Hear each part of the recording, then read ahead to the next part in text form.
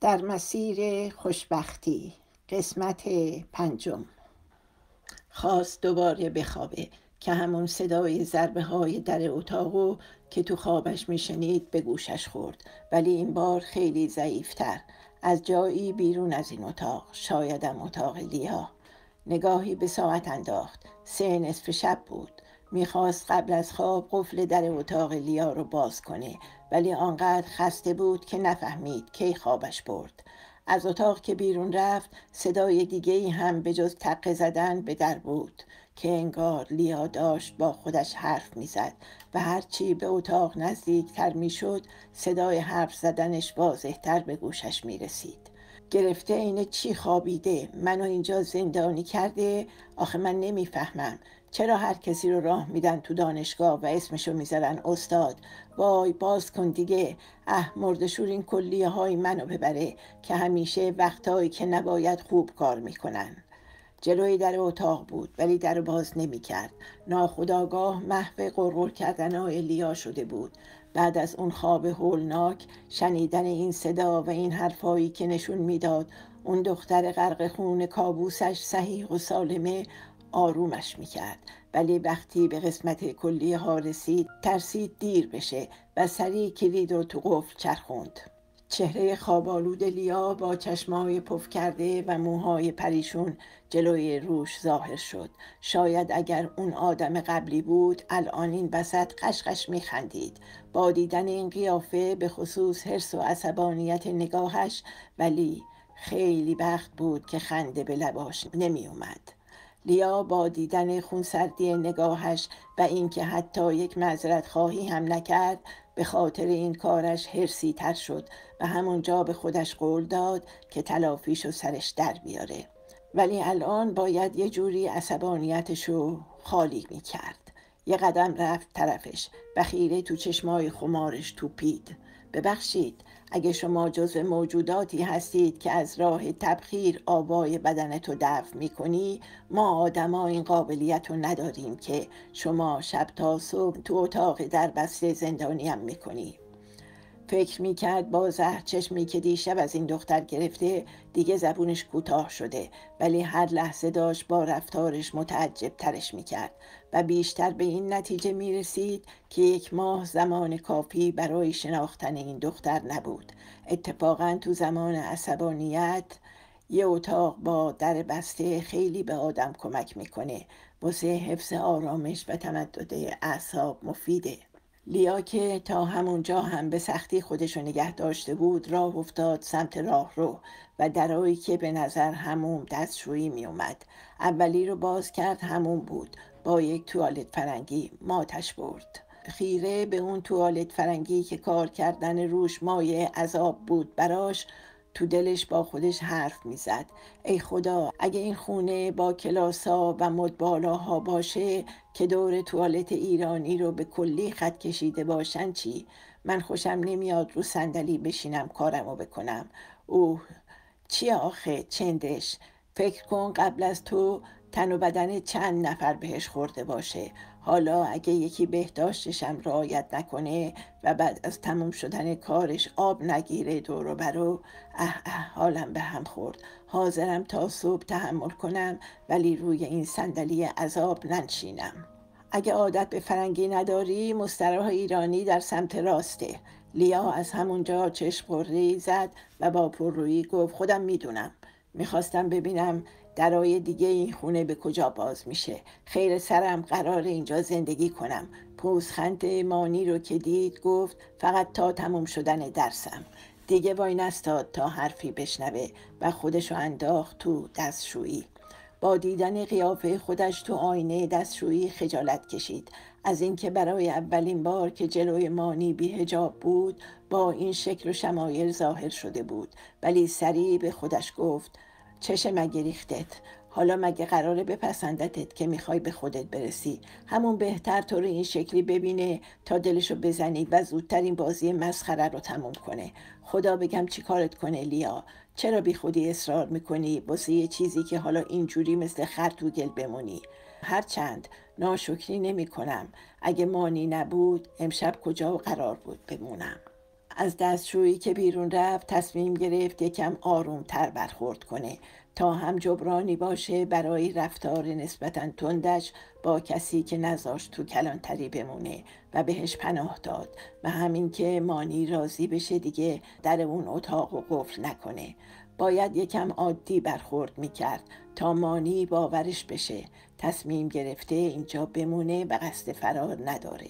با دیدن مانی که رو مبل حال نشسته بود حدس زد که منتظره بره تو اتاق تا در رو از پشت قفل کنه. به جای اینکه مسیر مستقیم تا اتاق خواب و طی کنه یهو بی هوا راهش رو به سمت چپ کچ کرد و رفت تو آشپزخونه.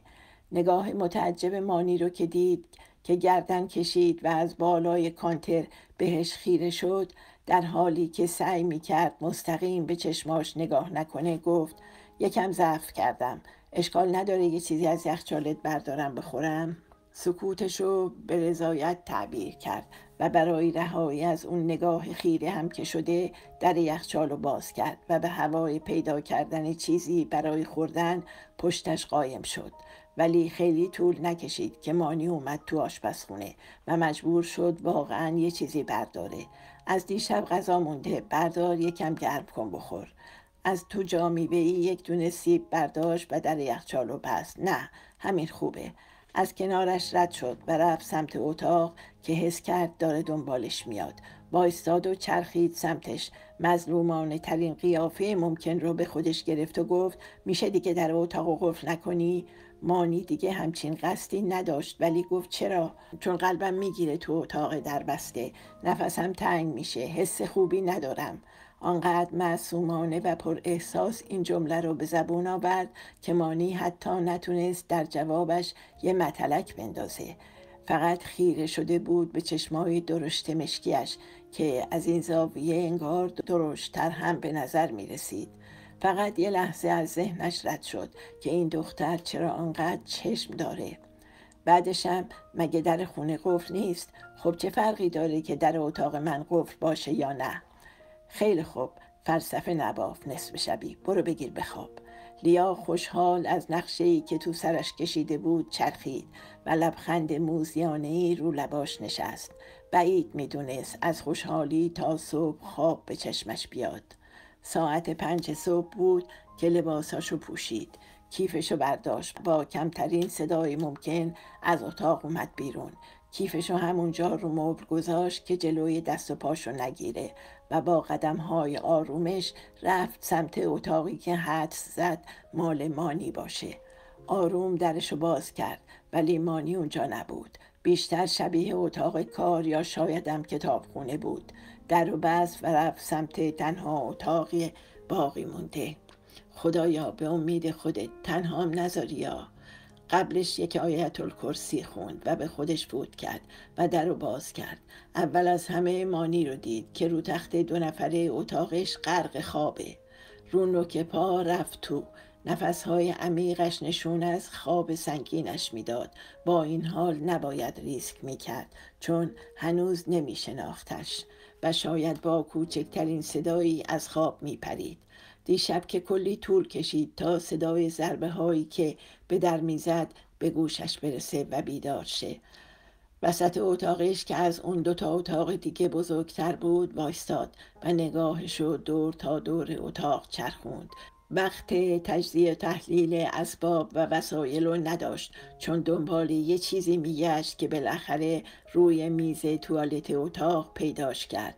راه افتاد رفت سمتش که وسط راه با دیدن بالاتنه لخت مانی یک لحظه وایستاد و چشماش دوخت به خط خطای روی بدن و شکمش که نشون از وجود عضله می‌داد. مونده بود تو این فصل که دیگه آخرای پاییز بود واسه چی لخت خوابیده؟ من میگم این بشر حالت نرمال نداره. هنوز نمی‌دونه کدوم حرکت واسه کدوم فصله ولی خودمونیم عجب بدنی داره. شاید اگر مانی بیدار بود نگاهشو می‌گرفت ولی تو تنهایی خودش آنقدر شرم و حیا نداشت که از این صحنه ها بگذرد. دروغ چرا؟ همیشه دلش می‌خواست مردش از این بدن داشته باشه. ولی الان فهمیده بود تنها چیزی که براش مهم بود تو ازدواج اخلاق و رفتار خوب بود. با تکونی که مانی رو تخت خورد فهمید باید سریعتر کارشو پیش ببره. رفت سمت میز توالت. همون دست کلیدی بود که مانی دیشب در رو باهاش قفل کرد و بعدش انداختش رو کانتر. این مار آویزان شده از جا کلیدیش از همون دیشب تو ذهن لیا مونده بود. کلیدا رو برداشت سریع تو مشتش فشرد تا صدایی ایجاد نکند و با همون قدم های آرومش رفت بیرون. امروز با مانی کلاس داشت. باید اول می‌رفت خونه غزل لباسهاش رو عوض می‌کرد و وسایلش رو بر می داشت. بعد می‌رفت دانشگاه. کیفش رو برداشت که زودتر خودش رو از این زندان خلاص کنه که یهو کلید روی در سلول انفرادیش توجهش را جلب کرد. یعنی این کلید به همه اتاقای این خونه می‌خورد. با صدای آلارم گوشیش بیدار شد و بعد از اینکه خاموشش کرد نگاهی به ساعت انداخت. هفت بود. با اینکه دیشب با دیدن اون کابوس و بعدش کلکلش با لیا بدخواب شده بود و دیر خوابید ولی دیگه باید بیدار می‌شد که به کلاس ساعت هشتش می رسید. از همون دستشویی اتاق استفاده کرد و آمد بیرون. وقتی برای دوش گرفتن نداشت. خواست سریع بره یه چیزی بخوره و بیاد حاضر شه که دید رو در اتاقش یه یادداشت نوشته شده. دیشب حس کردم یکم اعصابتون به هم ریخته است. منم برای تمدد اعصاب در اتاق در بسته رو براتون تجویز کردم. از یکی شنیدم خیلی موثره. روز خوش استاد. نمی‌خواست حدسی که با خوندن اون یاد داشت تو ذهنش شکل گرفته رو باور کنه ولی وقتی با ناباوری دستگیره در و بالا پایین کرد و دید حدسش درست بود. مشت محکم و پرهرسی به در کوبوند و قرید دختر کل خر حمال گوساله. دهنی ازت سرویس کنم که بفهمی با کی طرفی. دیوونه عقده ای اعصابش شدیدن خورد شده بود. بیشتر از لیا از دست خودش که چرا آنقدر این دختر رو دست کم گرفته بود. فکر می‌کرد کارش تو این دو سه ماه باهاش خیلی راحته ولی حالا داشت همه محاسباتش به هم میریخت. پنج دقیقه بی هدف تو اتاق قدم زد و فکر کرد برای رهایی از این مخمسه ولی چیزی به ذهنش نرسید. محال بود توی این اتاق سر کنه و به کلاسش نرسه. هم به خاطر اینکه هیچ وقت تو کلاس های دانشگاهش غیبت نمی کرد و هم به خاطر اینکه پوز اون دختر رو یه جوری به خاک بماله. وسط این قدم زدناش و نگاه های پر از استرسش که به ساعت خیره می شد یهو یاد میسم افتاد. اون تنها کسی بود که کلید خونه مانی رو داشت. می‌تونست بیاد تو در اتاق و باز کنه. هجوم برد سمت گوشیش و تون تون شماره میسم رو گرفت و یکم بعد صدای خواب آلودش رو تو گوشی شنید. چی میگی مانی سر صبح؟ میسم زود باش بیا خونه من. لحن میسم یه پر از نگرانی شد. چی شده؟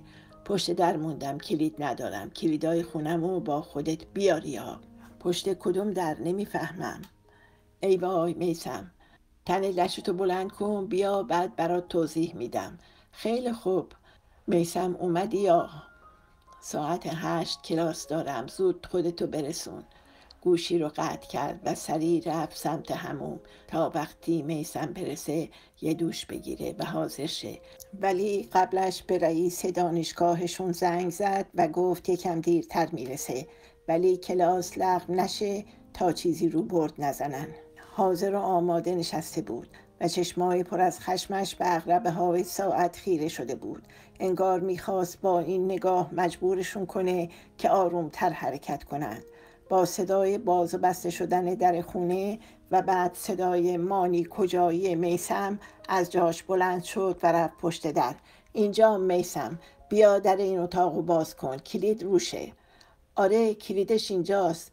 کی قفل کرده این در روت در باز شد و مانی به خودش زحمت جواب دادن به سوال میسم و نداد و سریع رفت بیرون. دستم درد نکنه. خب حالا مرسی. نمی‌بینی عجله دارم؟ هشت باید دانشگاه باشم. هشت و ربع من هنوز اینجام نمی‌خوای بگی کی در قرف کرده؟ دیرمه. حالا بعدا برات میگم. دانشگاه داری میری؟ منم برسون. مسیرم همون بره با چی اومدی؟ پس ماشین و نیوشا لازم داشت. دادم ببره. تا اینجا اون منو رسوند. خیلی خوب راه بیفت بریم. تو ماشین بودن و مانی با سرعت سرسامآوری داشت می‌رفت. که صدای میسم و شنید. نامزدت چطوره؟ با یادآوری دوباره اون دختر و هرسی که تو جونش نشست دستاش رو فرمون مشت شد. از دور و برگاش تنها کسی که از جریان لیا و پیشنهاد مانی خبر داشت میسم بود. هه نامزد. اسمشو بذاری خانوم متوهم بهتره. نمی‌دونم چرا انقدر احساس زرنگی می‌کنه. حالا چرا انقدر از دستش شکاری نکنه اون تو اتاق زندانیت کرده. سکوت مانی شک میسمو به یقین تبدیل کرد. آره مانی کار اونه. سرشو که به تایید تکون داد که خنده میسم به هوا رفت. بابا پس کارشو بلده ایول. میسم الان این کجاش خنده داره؟ شجاعت و جسارتش به نظر من ستودنیه. کسی که جرأت کنه با تو برج زهر مار نزدیک بشه و دو کلوم حرف بزنه هنر کرده. چه برسه به این که بخواد همچین بلایی سرت بیاره. مانی با اینکه خودش هم به این موضوع پی برده بود ولی اون لحظه آنقدر از دستش عصبانی بود که گفت جسارتش تاوان داره. علکی نیست که. کل خربازی در نیارمانی فکر کردی من نمی‌دونم. قبلا تو زهر تو ریختی و موشک تو هوا کردی. اینم حالا اینجوری جواب موشک تو داده. همین که هست. باید از الان بفهمه با کی طرفه که پس فردا نگه تو دوتا شخصیت داری و با احساسات من بازی کردی هرچی کمتر اخلاق خوب ببینه کمتر وابسته میشه نفشم آخر برای خودشه تو اگه به فکر سود و منفعت اون دختر بودی اصلا سمتش نمی‌رفتی که بخوای اینجوری بچزونیش چرا قصاص قبل از جنایت می‌کنی؟ گناه کردم؟ خواستم تشکیل خانواده بدم؟ بالاخره باید سراغ یکی می‌رفتم دیگه هان این نه یکی دیگه. اگه هدفت واقعا این بود دلم نمیسوخت. هر جور دوست داری فکر کن. هنوز بهش نگفتی نه؟ مانی نگاه خشمگینی بهش انداخت و گفت نه. مگه اینکه تو بخوای چای شیرین بازی در بیاری و بهش بگی. اگه به من بود می‌گفتم ولی خودت بگی خیلی بهتره. بالاخره باید بدونه که هیچی لازم نیست بدونه. نه اون نه هیچ کس دیگه ای اینم یه دوره دو سه ماه هست. بعدش می‌فهمه با اخلاق من نمیشه ساخت و تموم میشه میره پی کارش. می‌دونی چیه؟ فکر می‌کردم شاید این دختر بتونه این شخصیت مزخرف و گند اخلاقیت رو درست کنه و کاری کنه که به زندگی برگردی. گفتم اثرش رو تو این دو هفته گذاشته ولی حالا می‌بینم انگار دیگه هیچی رو تو اثر نداره. از اولم قرار نبود این دختر منو به زندگی برگردونه. یه نگاه به دور برت بنداز ببین تو چه دوره ای داری زندگی می‌کنی. دخترها فقط به منفعتشون فکر می‌کنن. از ته دل می‌خوام این یکی بهت ثابت کنه همیشه اون چیزی که تو فکرت نیست. آره حتما همون جوری که قبلی ها ثابت کردن. میسم سری به افسوس تکون داد. برای رفیقش که داشت دستی دستی خودشو و زندگی و آیندهش رو به فنا می‌داد. فقط امیدوار بود این وسط آینده اون دختری که ندونسته پاش به زندگی این مرد از دنیا بریده باز شده تباه نشه. ای بابا اگه نمی‌خواست بیاد دیروز می‌گفتن که ما سر صبح پا نشیم بیایم دانشگاه. لیا که همه حواسش به در کلاس بود متوجه حرف بهاره نشد. تا اینکه با سقلمش به خودش اومد. چیه؟ استادو میگم. بچه ها رفتن پرسیدن گفته میاد. ولی سابقه نداشته انقدر تاخیر کنه. استرسش با این حرف بهاره بیشتر شد. نمی‌دونم بالا راستی غزل کجاست؟ نیومده امروز. خبر ندارم ازش. پس لابد من دارم. مگه همخونهش نیستی؟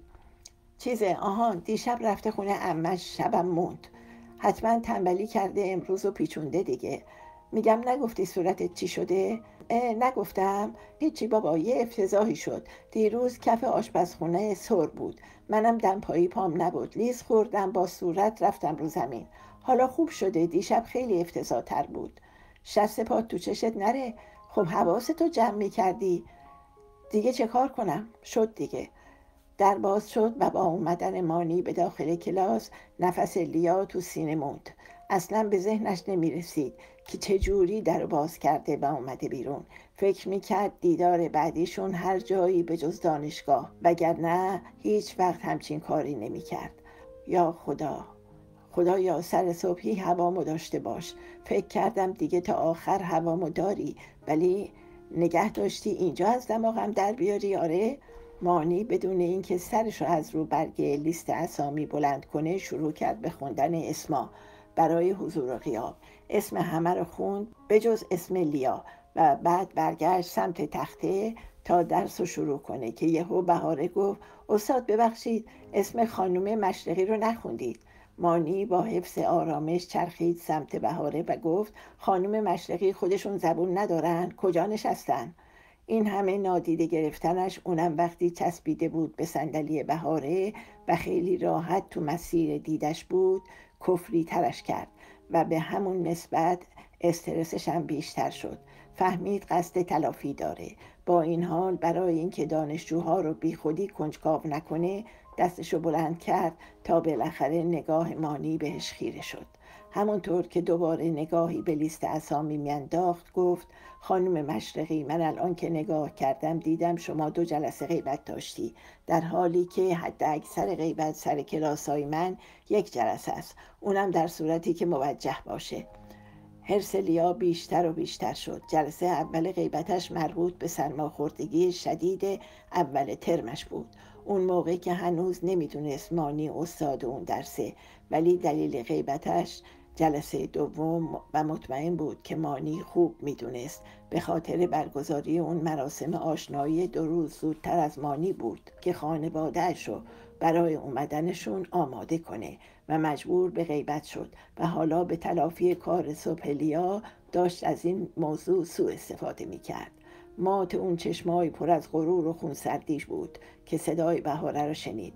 استاد ببخشید ولی همه استادا میگن تا سه جلسه مجازه.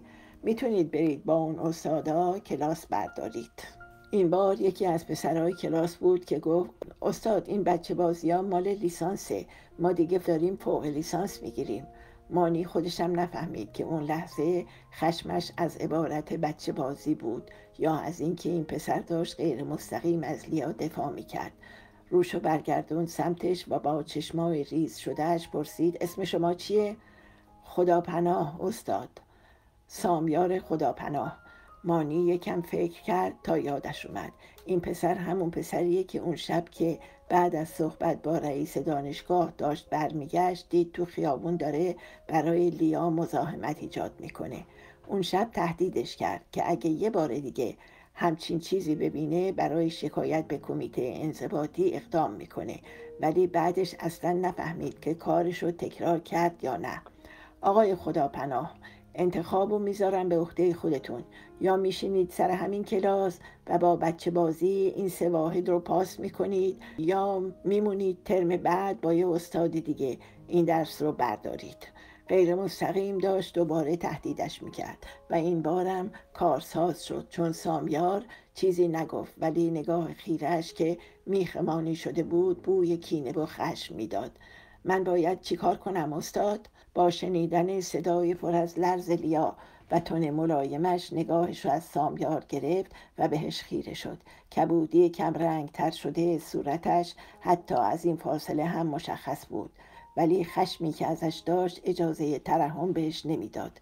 خیلی دلش می‌خواست بگه اون صدایی که باهاش دیشب جیغ و داد راه انداخته بودی کجاست. شما هم مثل آقای خداپناه حق انتخاب دارید. منتها با دو راه متفاوت از ایشون. یا دیگه تو کلاس شرکت نمی کنید و صبر می کنید برای ترم بعد یا می‌تونید بنشینید سر کلاس ولی به عنوان دانشجوی مهمان. سر امتحان برگهی به شما تعلق نمی‌گیره چون از این درس حذف شدید.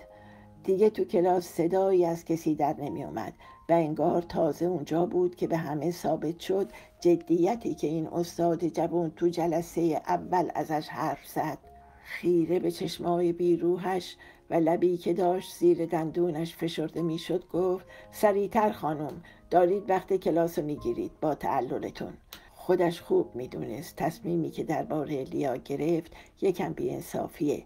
و ته دلش نمی‌خواست تا آخر پیش بره. شاید حتی با یک معذرت خواهی کوچیک کوتاه می اومد ولی انگار این دختر سرسختتر و مغرورتر از این حرفا بود که بدون حرف وسایلش رو جمع کرد تو کیفش و با لبخندی عصبی به دوستش که با ناراحتی داشت بهش نگاه می‌کرد بدون حتی نیم نگاهی به مانی یا حتی کسب اجازه از کلاس بیرون رفت. پایان قسمت پنجم.